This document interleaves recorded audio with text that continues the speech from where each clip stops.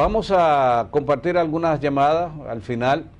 Vamos a ver a nuestros televidentes que nos llamen al 809-581-1209 si está en el área metropolitana de Santiago. Si usted está fuera o es desde un teléfono celular, nos llama sin cargo al 809-200-0138. Buen día.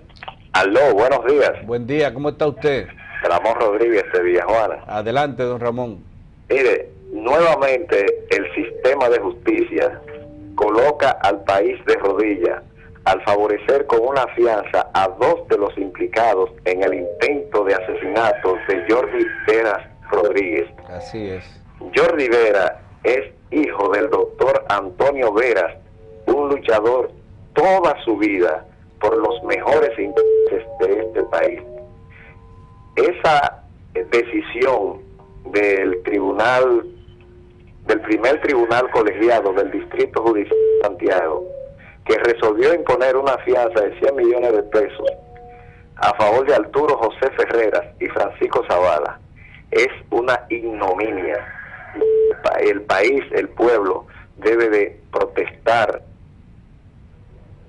Muy bien, muchas gracias, don Ramón, por compartir sus opiniones con nosotros. Adelante, buen día. Sí, desde España. Adelante, le escuchamos. ¿Qué tal esos padres jóvenes? Bien, Muy bien, gracias. Eh, yo nada más veo uno aquí. con relación a todo lo que son los organismos del, Estado, ya es preocupante lo que está pasando, ¿no? Así es. ¿Por qué lo dice específicamente? Si te digo un ejemplo, la Junta Central Electoral, el Tribunal Superior, lo que es la Suprema Corte de Justicia, Senado, todo está controlado por un solo partido. Entonces, nos estamos convirtiendo en lo que es una dictadura.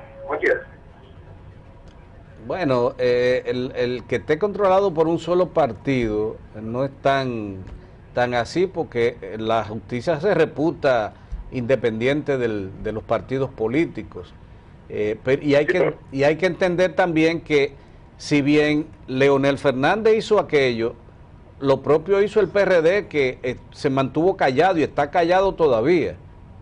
Bueno, pero si someten, un ejemplo, a la, Suprema Corte de Justicia, automáticamente como, como hicieron, archivaron el, expediente de, de lo corrupto. Entonces, no, no veo que el pueblo tenga defensa. Y sobre todo ahora por la elección de, de, de, la defensora del pueblo, que también es una política. Entonces, no sé a, dónde vamos a llegar los, dominicanos. Escogieron, sí, a alguien de, proveniente del Partido Reformista. Les repito, es que la falta de una oposición en el país permite todas esas cosas. Bueno, es penoso, es penoso y desde aquí, desde España, pues eh, eh, todos los días que lo doy seguimiento a ustedes es preocupante para mí. Se le agradece eh, habernos escogido para verter sus opiniones, yo creo que es importante. Muchas gracias desde España. Tenemos otra llamada, buen día. Buenos días. Sí, buenos días. Adelante. Yo estoy llamando aquí desde con el tema de justicia también. Yo soy Giovanni Alcántara yo tengo, yo he sido en el 2008 yo fui víctima de un intento de homicidio de un banquero que hay aquí en Barahona. Y desde ese tiempo he vivido, he vivido detrás de que ese señor sea llevado a la cárcel.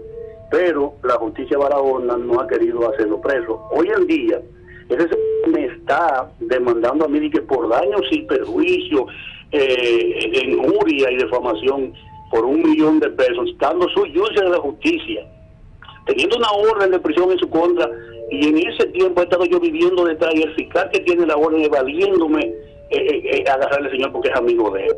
Oiga cómo está funcionando esta justicia. ¿En qué ciudad de Barahona es eso? En, ¿qué zona de Barahona? De Cabral. Cabral, Cabral Barahona. Sí, Giovanni Alcántara soy yo. Sí. Bien. Un banquero llamado Alessi, Alessi Paredes en el 2008 vino a matarme en mi casa con una pistola porque me tumbó un negocio de una banca que me dio Merán, alias Vigilio Sport. Óigase bien.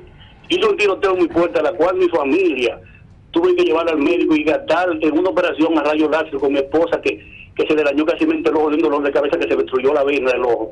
Más de 100 mil pesos. Muy bien. Y hoy ese señor se está burlando de mí, man, eh, chantajeándome, como queriendo coger adelante, porque nadie puede cogerlo. Pero ese es el dominio de la justicia de aquí de Barahona. Vamos a tratar de darle seguimiento a su caso, yo creo que es importante. El fiscal de eh, Cabral, que si hay una orden de, prisión en contra de alguien, que, que se someta a lo que la ley dice. El problema es que tú no sabes los vínculos y los favores que le deben a ese banquero.